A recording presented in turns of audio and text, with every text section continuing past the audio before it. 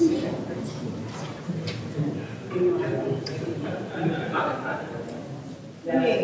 we have one minute.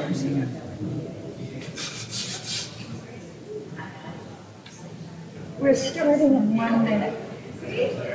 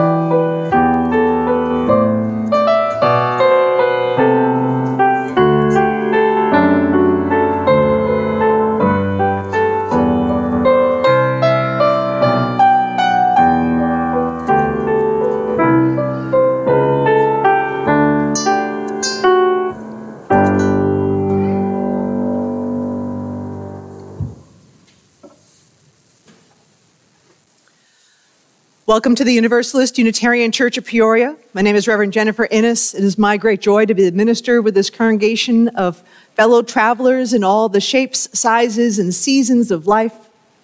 In this congregation of people who are fully flawed and fabulous, as all humans are, we strive to put love at the center of all our efforts and aspirations. We're an intentional community gathered around our shared promise to support each other's spiritual journeys.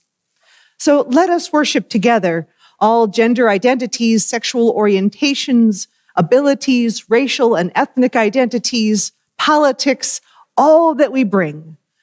May we root ourselves in the values of this faith compassion and courage, transcendence, justice, transformation, and service. And as part of our network of mutuality, we honor our relations, past and present. This is the ancestral home of the Peoria people. They and other nations were here long before the Europeans arrived.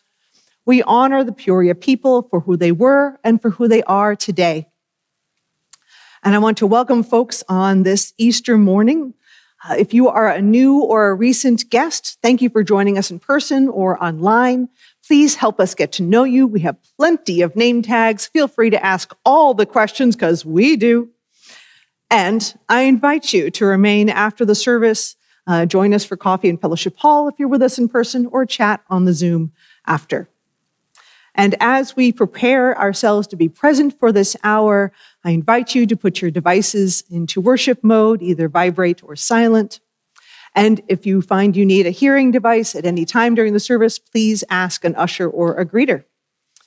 Now, today, uh, today is Easter Sunday, Easter Sunday, and it's a beautiful day to enjoy this day. And we also, just because, you know, I know this is going to be the most important piece for some of you, there is an egg hunt after the service. I mean, you know, come for the come for the chocolate, kids, come for the chocolate and cookies. We got cookies going on too. We have like a lot of good stuff. Um, as part of our practice as a faith that finds truth in many sources, we are spending this moment on this day in the deep story of Jesus' life and death and beyond. I also recognize that we come to this from many different places, theologically, religiously, or not. This is a holy day in the Christian tradition so, however you understand that, I, under, I invite you to enter and be open to what may speak to you in the music and in the wisdom of sources, both ancient and modern. And now I'd like to invite uh, Lindy Peterson up for a message from our annual campaign.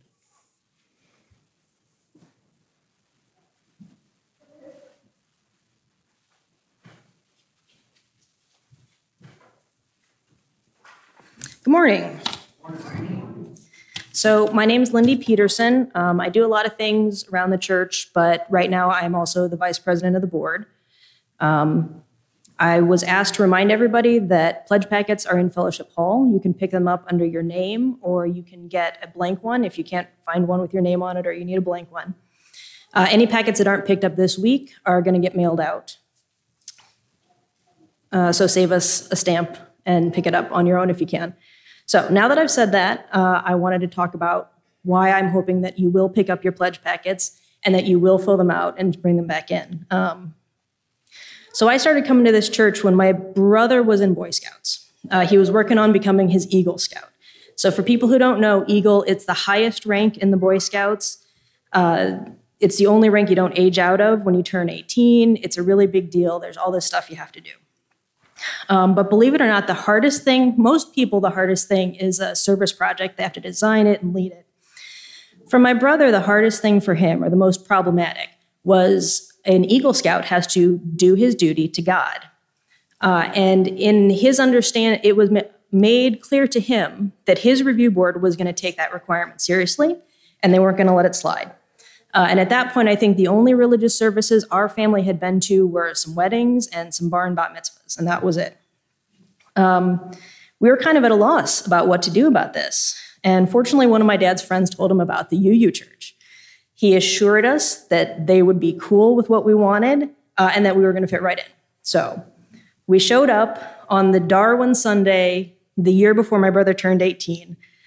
Zach joined the high school RE group, and my parents and I started to go into all the things and helping out with all the stuff. Uh, and my dad's friend was right. Uh, we did fit in. Um, we figured, you know, we, we were coming just to tick off some requirements for my brother's Eagle Scout uh, and wanted to give back. So we were doing stuff. And over the course of the next year, yeah, we fit in. Zach completed his service project. He built the bridge out to the South Grove and the woods out here.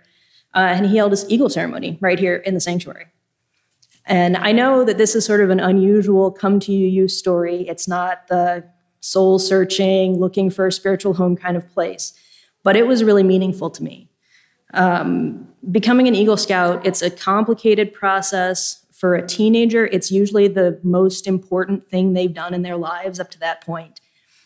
And my brother was, let's see, what am I trying to say? It's a big deal for a teenager. Like it's it's a really big deal. Like you put it on your college applications. You're an Eagle Scout forever. Um, and my brother was in danger of being told that he wasn't good enough, that that was not something that he could do.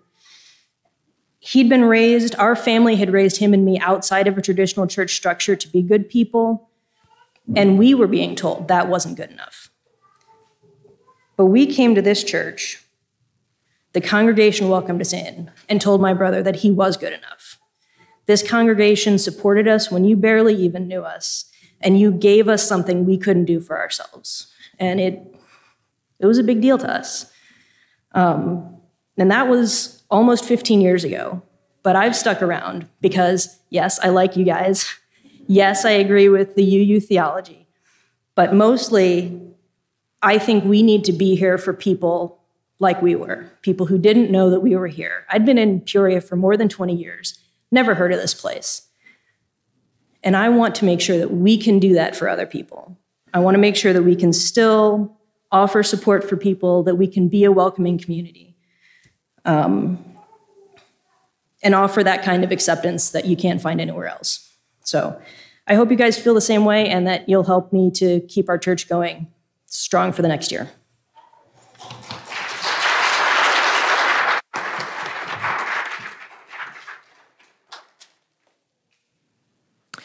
Thank you, Lindy. And let me offer note the part of the reason why we have, well, the reason why we have cookies after the service is because we made the first goal in our annual campaign effort. We are well over a $100,000 at this point. So come and have cookies after service and help us celebrate. The next goal is pie? Ice cream. Sorry. I'm ambitious. I'm looking forward to the pie because we're going to get there too. But the next one, when we hit 200,000, we're going to have an ice cream party. So wait and see, come and help. And now I want to invite us to say hello for a moment with each other. Part of how we welcome is we share a moment of greeting with our neighbors during the service. I invite you to say hello in the sanctuary or online. And as we are a covenantal and consensual kind of community, please ask before offering a hug or a handshake. I will bring us back with the first verse of our gathering song. Please go forth and greet your neighbor.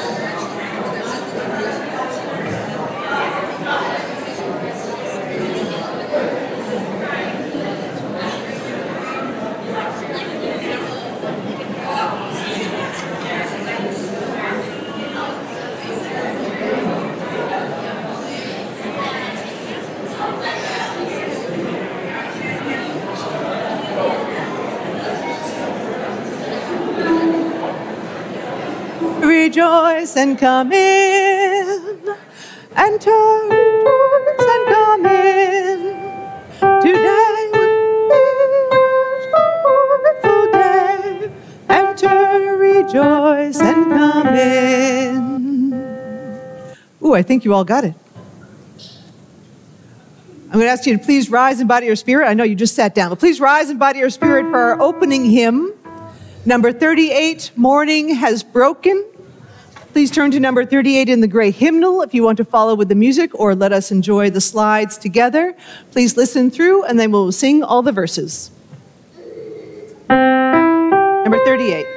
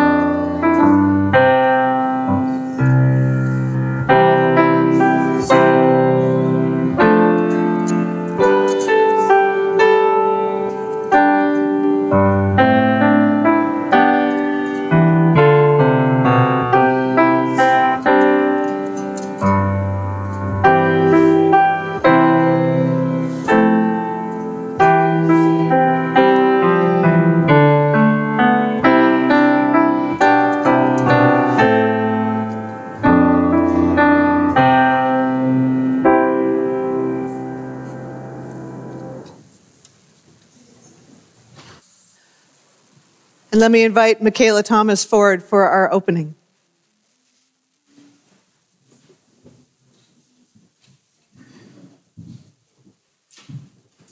Good morning. we live in a paradox. Humans generally don't like to admit it. We much prefer tidy, stable, comprehensible, logical ways of getting through the day.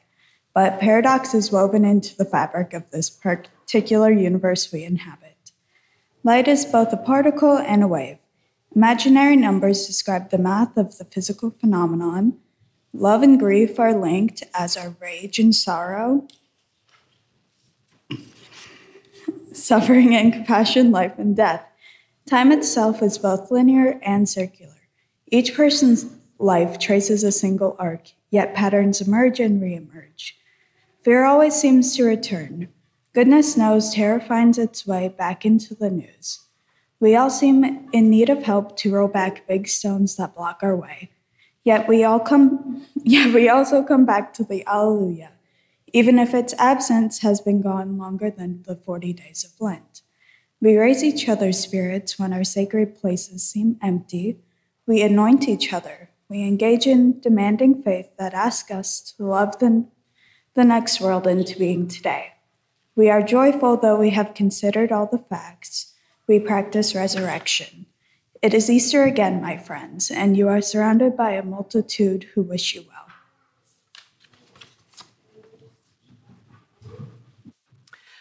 I invite the Cardonaway family forward to light our chalice.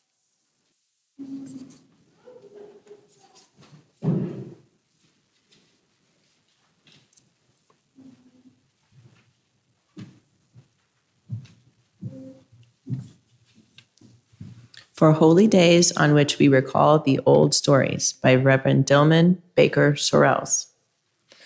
For holy days on which we recall the old stories, we light the flame.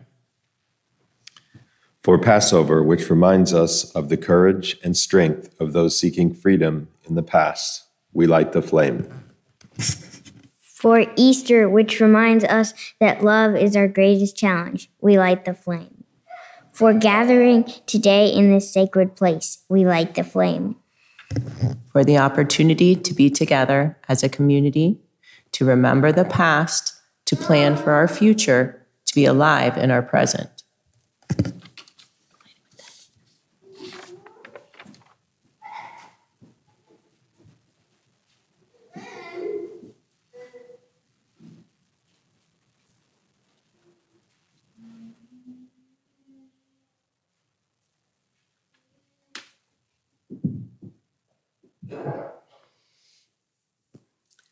And now we have the gift of music from Edith and Wes. Not me. Oh, Wes. We get a Wes solo. Excuse me. My apologies.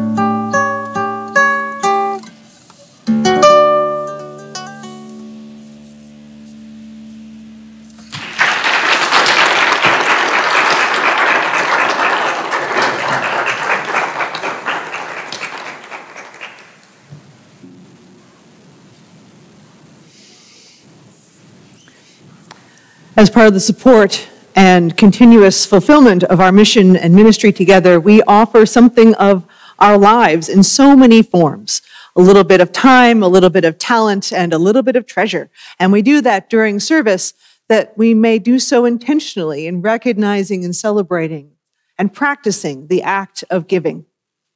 And we also, we also, in doing this, send some of what we receive, we send some of that out into the world in our, from our offering. We practice a share the plate, which is that half of our undesignated offering, so if it's not your pledge or something else, half of that will be shared with our named recipient for the month, and half will go to the workings of the congregation. And for April, our Share the Plate recipient is the Central Illinois Center for the Blind and Visually Impaired. And this organization has been providing support and encouragement to the blind and visually impaired since 1955. And they teach Braille, they'll set up households, they'll provide assistive technology, and offer other services, including social events and outings. Um, I will offer that it is so powerful as we're talking about living into being welcoming and inclusive, that part of what that looks like also is to make sure that people have access, that people have agency, that people are able to conduct their lives as they wish. And this kind of organization really makes that possible. And this group is also one that doesn't receive government funding. It is a 501c3 charity. Um, so I want to invite us, uh, as you are so moved, uh, to be generous in the gift for today. Um, again, half of the undesignated offering goes to the Central Illinois Center for the Blind and Visually Impaired. Um, if you are using an envelope, uh, please mark, uh, or a check, please mark in the memo line, uh, whether it's your pledge or whether for the offering. If you're giving a little extra, that is also welcome as well. And just thank you. Thank you for all the gifts that you offer to help make what we do in here and what we can offer out there all possible. Now, the ushers will come forward during our music for meditation. After the plates have passed during the music, folks are welcome to come forward and light candles of care. And now, will the ushers please come forward?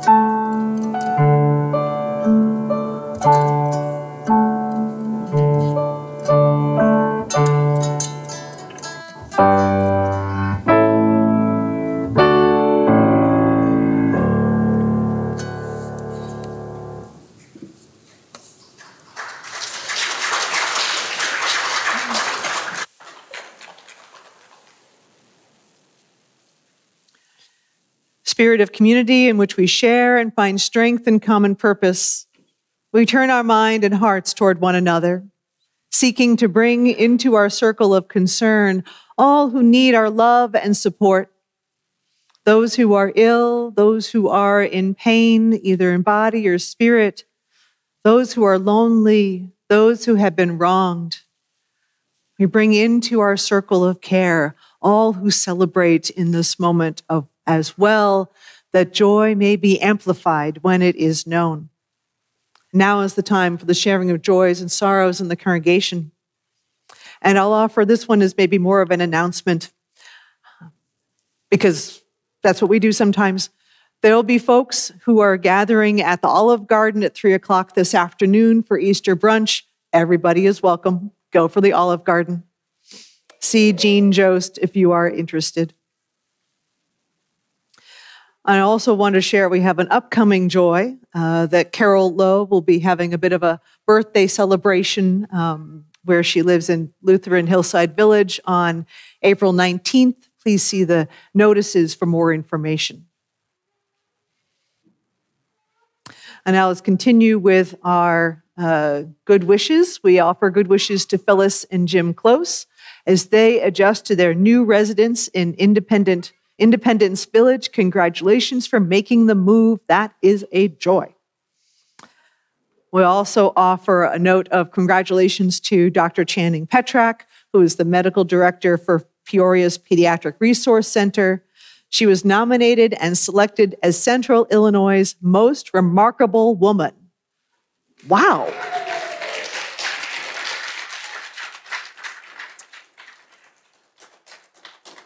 She offers care and comfort and courage to help children who have endured situations that nobody should experience. So, congratulations to Channing. We offer a note for speedy recovery to Nancy Venzon. Uh, she is at home recovering from her third surgery, which was on March 31st. Phone calls are welcome, but Nancy really appreciates visits, in case you were wondering. And we offer a note of sorrow to uh, the family and friends of Tessa Sutton. That she was a 17 year old, a young woman who uh, just died after a long, a long struggle and battle with cancer. We offer our note of condolence and sympathy to Tessa Sutton's family and friends.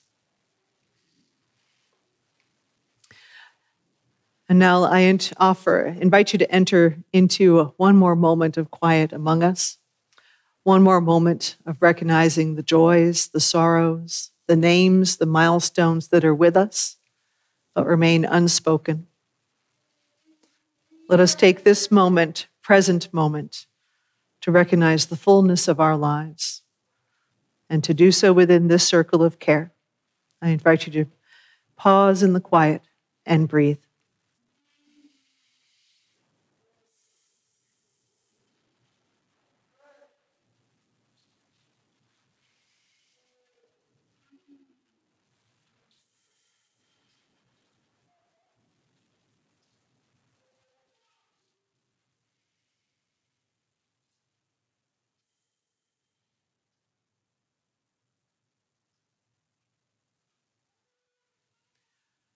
Namaste. And let me invite Jesse Lachlan forward for our story.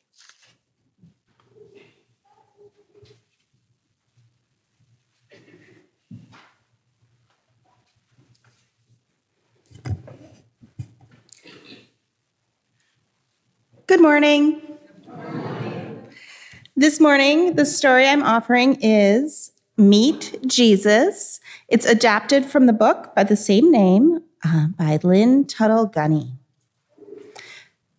This is a story of Jesus, a beloved teacher.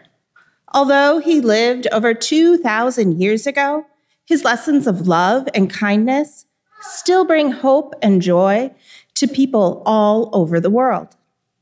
His father and mother, Joseph and Mary, raised Jesus in the traditions of their Jewish faith.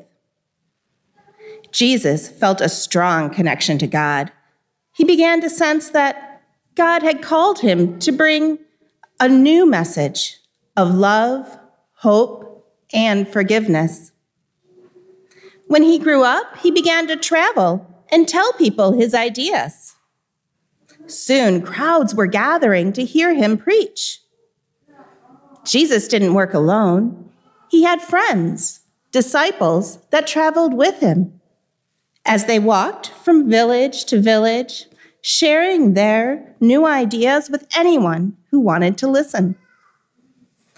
Jesus said we should love one another because God loved us. Jesus taught that God loves each of us, even if we make mistakes or we do something wrong.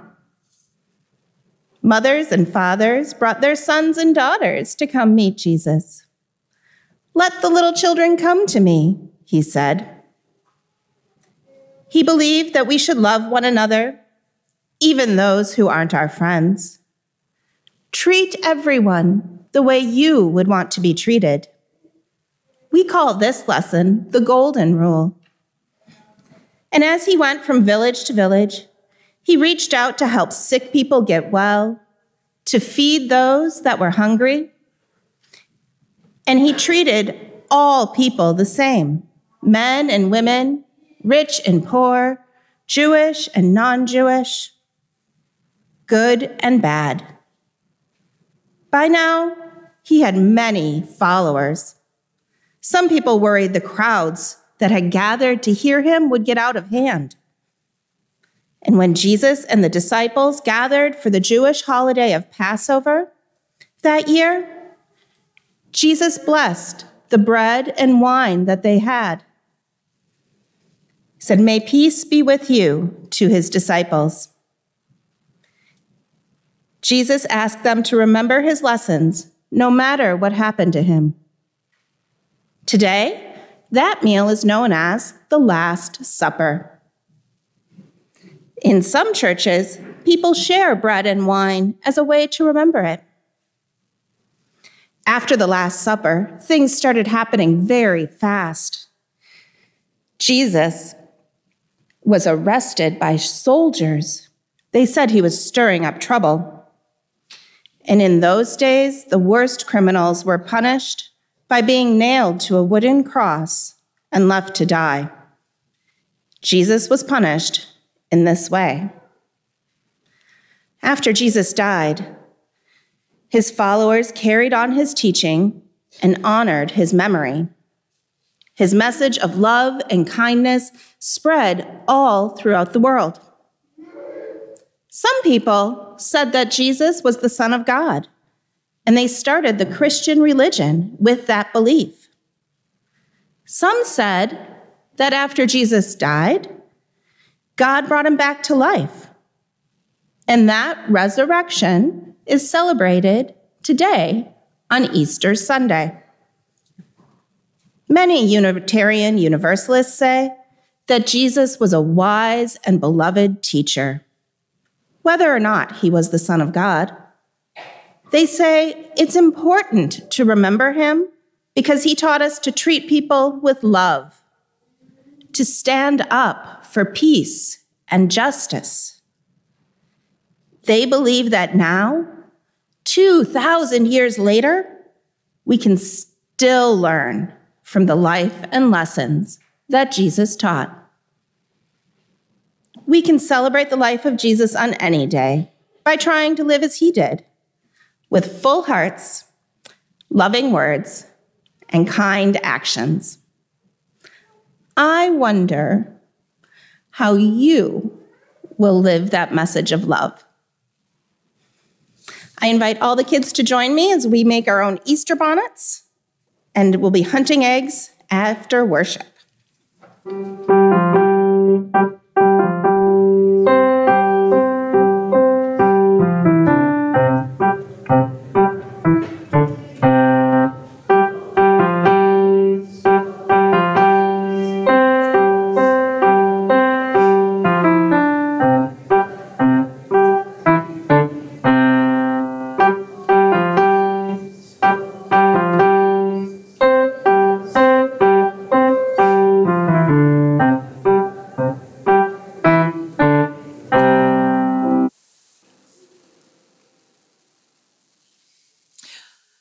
Our reading today comes from the book of Mark, chapter 16. When the Sabbath was over, Mary Magdalene, Mary the mother of James, and Salome brought spices so they may, that they may anoint Jesus' body. Very early on the first day of the week, just after sunrise, they were on their way to the tomb and they asked each other, who will roll away the stone from the entrance of the tomb? But, but then they looked up and they saw that the stone, which was very large, had been rolled away. And as they entered the tomb, they saw a young man dressed in a white robe sitting on the right side, and they were startled. Don't be alarmed, he said. You are looking for Jesus the Nazarene, who was crucified. He is risen. He is not here. See the place where they laid him.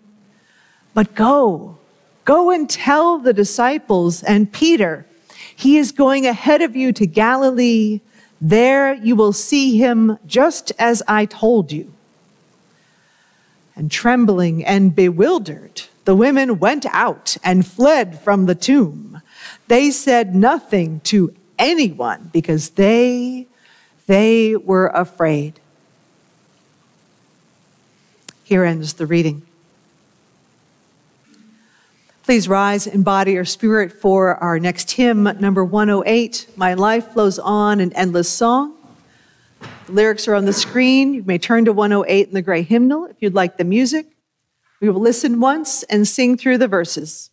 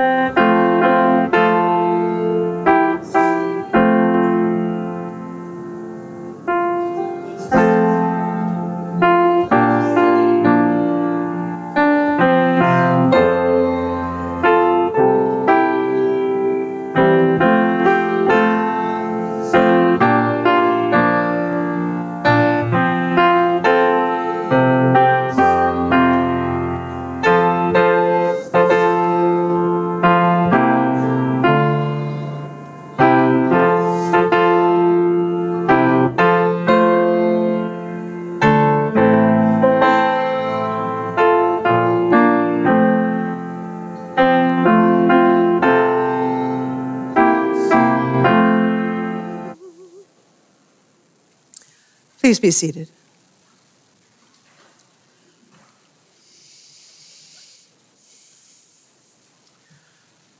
For this moment, I want to begin about a week ago with Palm Sunday, and which is known as Jesus' entrance into Jerusalem, as the Christian scriptures tell us. From the book of Zechariah Rejoice greatly, O daughter of Zion. Shout aloud, O daughter of Jerusalem. Behold, your king is coming to you. Righteous and having salvation is he, humble and mounted on a donkey, on a colt, on the foal of a donkey. From the book of John, we hear the next day, the large crowd that had come to the feast heard that Jesus was coming to Jerusalem. So they took the branches of palm trees and went out to meet him, crying, Hosanna! Blessed is he who comes in the name of the Lord, even the King of Israel. So here we are. Here we are. We start the lead up into this moment with the entrance of Jesus into Jerusalem in all of the welcome and the enthusiasm and the greeting with the palms, but also in the riding of the donkey in defiance and tweaking the nose of the empire to say that the king can come on the humblest of creatures. Here we are with this story that began with a child celebrated at his birth, marked by the cosmos with a guiding star, whose parents were so humble that they took shelter in a barn, who had wise people, royalty, attend his birth, and then skirted around going back to the empire because they knew how precious this child was. And this child grows into a man, a teacher, as well as a carpenter, performing miracles of healing, feeding the people when there was no food, teaching lessons of morality again in living into the spirit of things, not just the rigors, and making people think about their place in society. He turned the value of wealth itself on its head and proclaimed who would ultimately inherit the world. I'm going to give you a hint it wasn't the people with money and power. So here he is, this Jesus entering Jerusalem, coming to make good trouble. And here we are a week later, and he has been arrested, and executed. And here we are trying to make sense of the story that also says that the stone was rolled away and that Jesus was no longer there in the tomb to be found.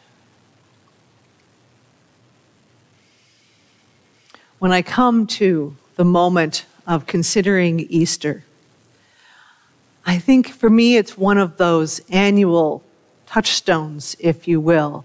It is such a powerful story. The powerful story of the triumph of death, of the triumph of life over death in so many ways, of subverting expectations, of challenging what was status quo.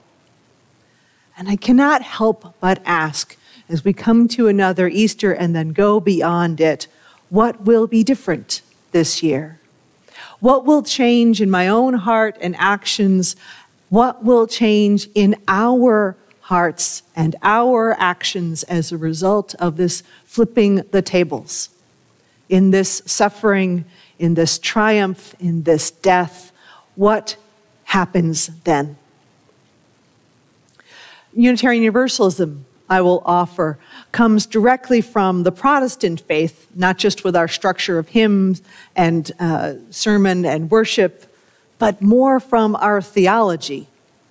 The earliest teachings of what became the Christian church included that there is one God, that teacher that Jesus was not divine or fully divine, and that Jesus' sacrifice was um, a gesture of solidarity for all of us to recognize how we all suffer. in managing our mortal, finite lives. And these teachings keep coming back in Western human history over all of these thousands of years, no matter what was made official, what was officially said, this is the what's going to be taught, no matter how much uh, these remarkable inclusive ideas were kept popping up, uh, no matter the oppression, they kept showing up and they have kept been coming down to us in the course of our history. So, in this moment, I invite us to spend time with one of these more transformational stories of our past and our present and our culture, and indeed the theology of this time and this faith. Because I'll tell you, my favorite stories of all the Jesus stories is when he subverts expectations. And not just because it's kind of fun to mess with the system, right? Because, amen, it's fun to mess with the system, right? Just because sometimes. But because that disruption can lead to insight, can lead to truth, can lead to opportunity. But it also can lead to more compassion, more recognizing how much we are, in fact, each other's neighbors it can lead to somebody, maybe even ourselves, being made more whole and more able to live with hope, even amidst all the struggles. Jesus, uh, flipping, he goes on after Palm Sunday, he goes to the temple uh, where there's an enormous amount of money changing and buying of selling of materials so that one can have the right things to take to the temple to offer a sacrifice and so on. And he is enraged by what he is observing as the commercialization and commodification of faith and of ritual that is meant to be a source of comfort, that is meant to be a strength of the people. We're not, they, you know, the, they were not to make the temple, uh, you don't build a temple, you don't build a sacred structure for its own glory, for its own uh, monetary design but to locate sacredness, to make the ineffable more tangible for mere mortals. But, but in this observance, in this practice, it was turned into a source of profit rather than prayer. And so Jesus flips the table and said, This is not how this temple should be. And I'll offer, it is in that moment a bit of a violent act it is really a powerful and violent act. And we'll have another sermon about Jesus' anger at another time. That one I'm looking forward to. But much more prevalent are the stories of where he's flipping the expectations in the society and in the law. And I want to give one example of this in particular. And I take this from uh, the Christian teacher of nonviolence, Walter Wink. And he has quite the list of them, but I'll talk just a little bit about the one about debt and about the call when someone is, um, when Jesus said, if someone asks for your garment, you not only give them your cloak, but your, but your tunic as well. And this, and this, in case you don't know, you know, cloak and tunic in amongst the masses, amongst the general people, this is a two item of clothing community. There's no under the tunic, right?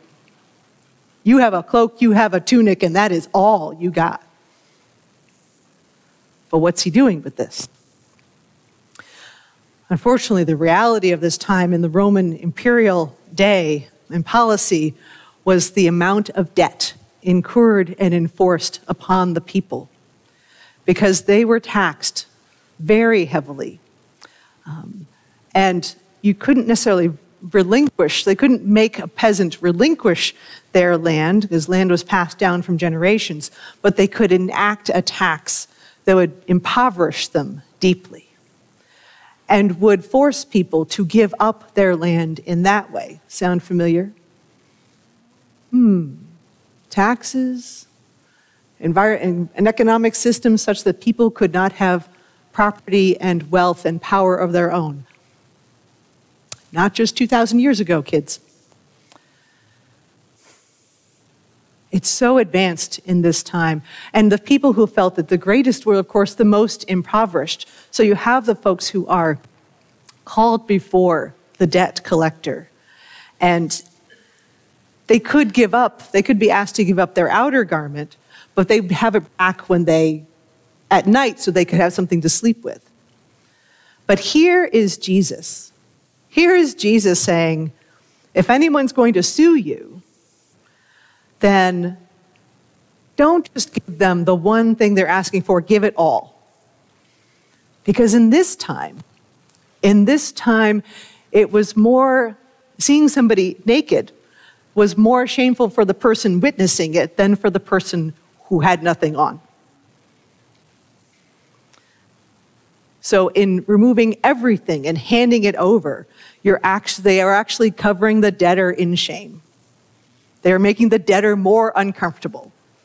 I have that a little hard to believe, but I'm going to go with it right now. And so here's the tables turned on the creditor. And the person in debt had no hope. They had no hope of winning this. The law was entirely in the creditor's favor. But here is this poor person who has transcended this attempt to humiliate.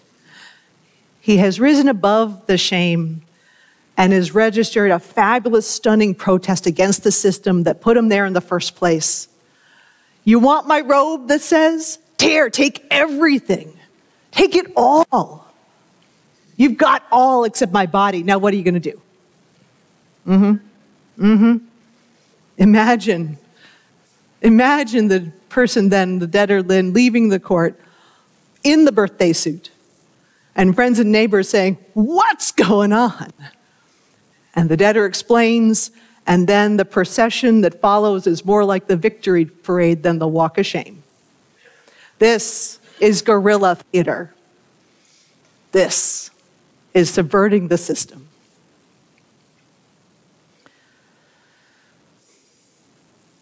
Now, I recognize we might not be ready to do such a protest out in the world. I recognize that as we're going forth and figuring out what, how to take the lessons from what Jesus is offering and put them into practice, that sometimes we don't actually know what to do. We got this wise person in Jesus, he's doing great, but what do we do now, today?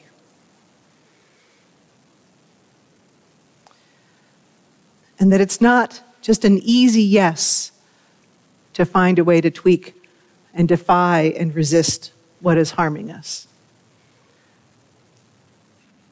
The poem, I want to offer a poem, piece of poem from the Rabbi Rachel Barenblatt called Ready, about the flight of the Hebrews from Egypt as they sought to escape their enslavement. From the book of Exodus. So the people took their dough before it was leavened, their kneading bowls wrapped in their cloaks upon their shoulders and the section of the poem reads You'll need to travel light. Take what you can carry a book, a poem, a battered tin cup, your child strapped to your chest, clutching your necklace in one hot, possessive fist. So the dough isn't ready. So your heart isn't ready. So you haven't said goodbye to the places you hid as a child, to the friends who aren't interested in the journey, to the graves you've tended. But if you wait until you feel truly ready, you may never take the leap at all, and infinity is calling you forth out of this birth canal and into the future's wide expanse.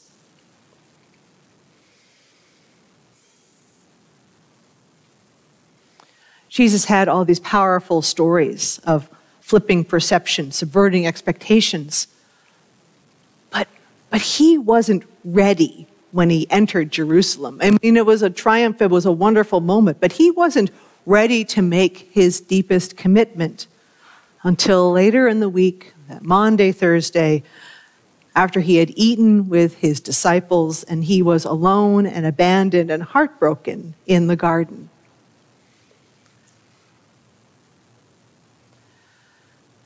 This is part of the, the conundrum, the puzzlement of what to do with Easter, what to do with all the teachings of Jesus. How do we make sense of this and bring it into our lives, knowing that we're not ready to in any one moment, that we get surprised by when we have to, when we must encounter something we don't expect? The women at the tomb, for example, when we're in our most difficult moment, what shall we do? So we return to the scripture story again and again, but not alone. We do so in company. Each of us has to make our own choice, but we don't have to do it by ourselves. We have among us the mutual potential of creative minds and searching hearts, even when, especially when, we are nervous and disrupted and unsure. And we do so in this gathering, hoping to be humble enough to hear what is broken, to hear what is hard to hear. I don't observe Lent or many of the specific practices of Holy Week, Palm Sunday or Maundy Thursday or Good Friday. I recognize, but I don't always necessarily dig deep into the triumphant entry, the Last Supper with the disciples, the arrest in the garden, the torture, the crucifixion, or the rising of Christ. Because in my growing up in Unitarian Universalism, for me, it was really about the teachings but, I, but that flipping the tables on life and death itself, that is something.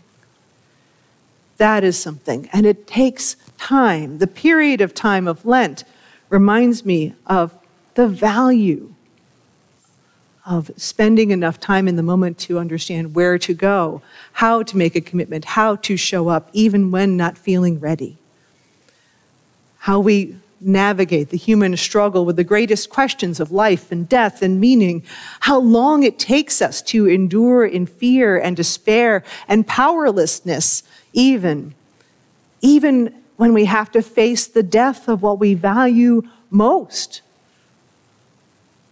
what we hold closest to us, but how we also keep going, what gives us hope when we face the death of everything at times the end of life itself.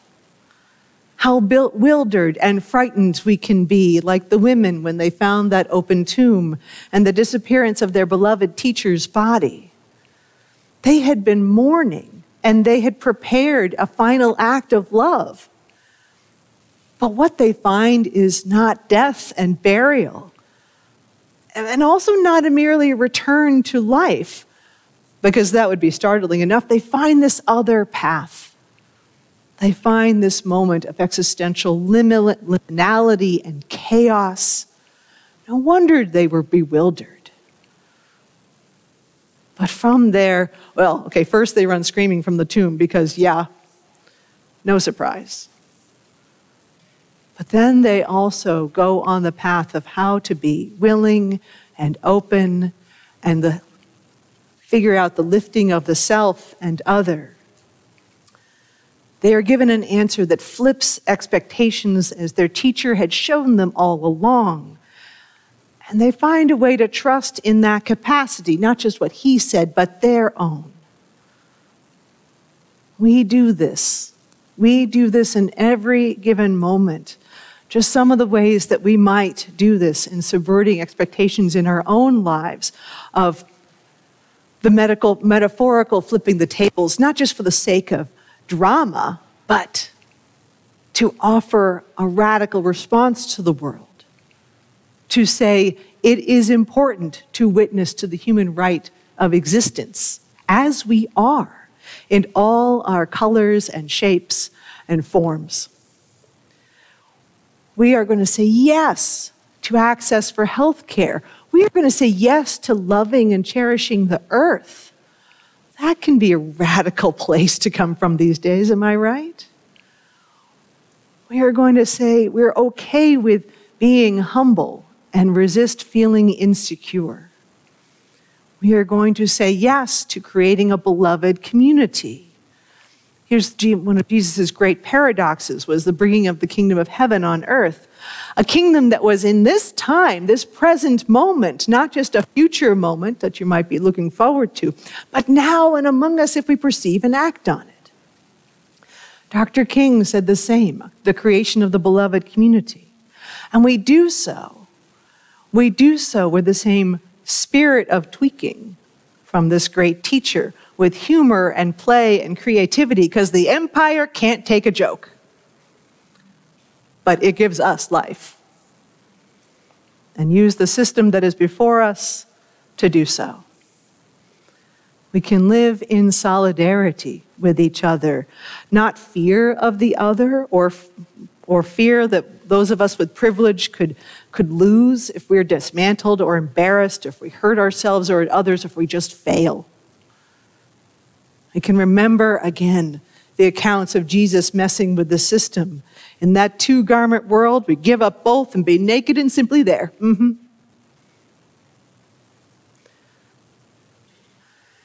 We can be present and accounted for in so many ways, well beyond any one Easter.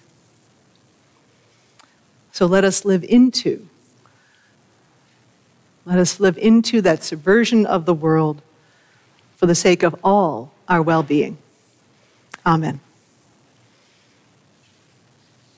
Please rise in body or spirit for our closing hymn, number 61 Lo, the Earth Awakes Again. Your music will be on number 61 in the gray hymnal if you'd like to follow. We will listen once and sing through the verses.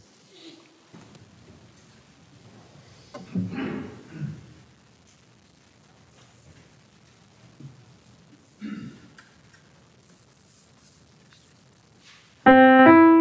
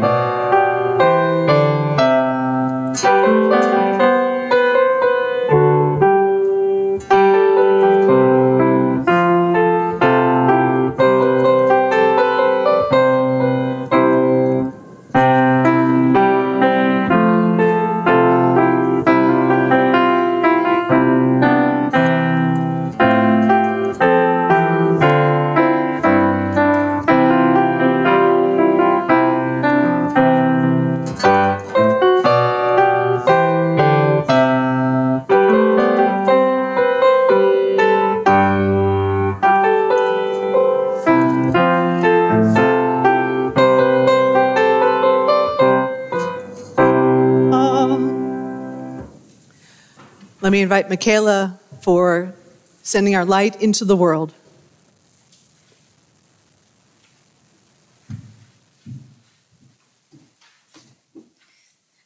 When we take the fire from our chalice, it does not become less, it becomes more.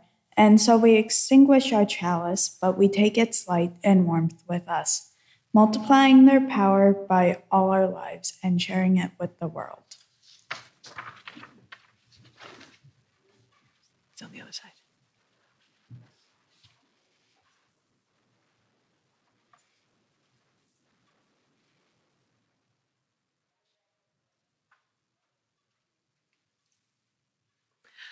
Blessed are the truth tellers and those that live authentically. Blessed are those that see the beauty in the broad spectrum of creation beyond the binary. Blessed are the advocates and allies, the resistors that pour out their hearts, willing to be wounded by the stones being cast by the very ones who took an oath to serve all equally. Blessed are those that rise each day to do it all again out of love. Blessed and blessed and blessed are we all. Our worship is ended. Let our service begin.